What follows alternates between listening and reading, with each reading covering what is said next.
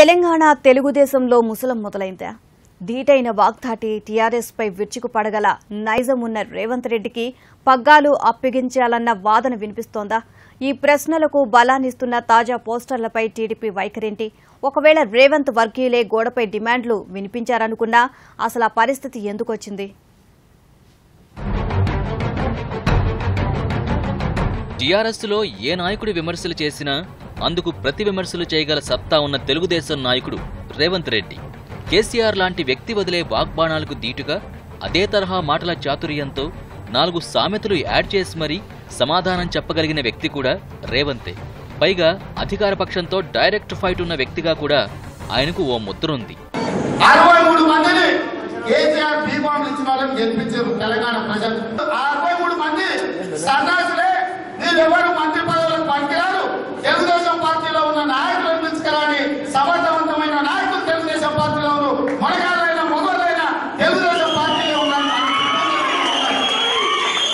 శ్రీకాంత్ వచ్చి మాతో రావడానితో మాట్లాడుకోవడంతో మాట్లాడుతారు మీరు మా పార్టీలోకి రాడి మిమ్మల్ని మంత్రి చేస్తామని నేను అడుగుతున్నా కేసీఆర్ సన్నాసిని నువ్వు బీమాలు నుంచి అరవై మూడు మందికి వచ్చారు ఆ అరవై మూడు మందిలో ఎవరు మంత్రి పదవులకు పనికిరాడా? మేమే కావాలా? రేవంత్ రెడ్డికి తెలంగాణ తెలుగుదేశం అధ్యక్షుడిగా బాధ్యతలు అప్పగించాలి అన్నది తాజా డిమాండ్.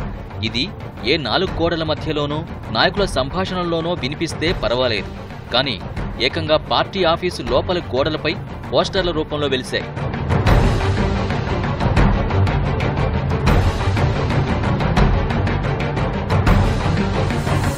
తెలుగు యువత పేరుతో కనిపిస్తున్న ఈ పోస్టర్లను అంటించింది ఎవరు అని అడిగితే ఏమో ఎవరో అన్న సమాధానం శ్రేణుల్లో వినిపిస్తుంది. వాస్తవానికి అక్కడే ఉన్న సీసీ కెమెరాల ఫుటేజ్ చూస్తే సమాధానం ఇట్టే దొరుకుతుంది. అయినా పట్టించుకోవడం లేదంటే దీని వెనుక ఉన్నదెవరో పార్టీ నేతలకు తెలుసనే వాదన వినిపిస్తోంది.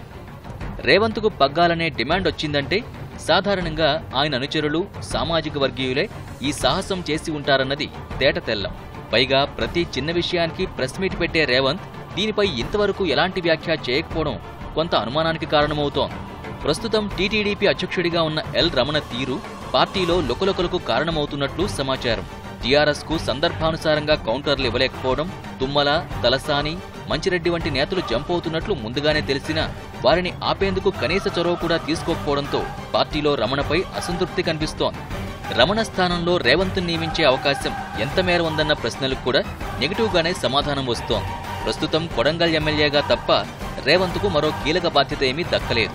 ఎర్రబెల్లితో సమానంగా రాజకీయ అనుభవం కేసీఆర్కు సమాధానం చెప్పగలిగే వాక్పటిమ ఉన్న శాసనసభాపక్ష నేత పదవి గాని ఉపనేత హోదా గాని ఎనుకు దక్కలేదు. టీడీపీ అంతర్గతంగా వ్యతిరేకించే రెడ్డి సామాజిక వర్గానికి చెందడమే రేవంత్ మైనస్ పాయింట్ అన్నది లీలగా వినిపిస్తున్న అంశం. పైగా రమణ చేతిలో బాధ్యతలున్నా ఆయన యాక్టింగ్ అధ్యక్షుడే గాని యాక్చువల్ అధ్యక్షుడు చంద్రబాబే అంటున్నారు. ఒకవేళ సారథ్యం రమణ నుంచి రేవంత్కొస్తే ఆ తర్వాత బాబు ఆలోచనలకు విలువెంత?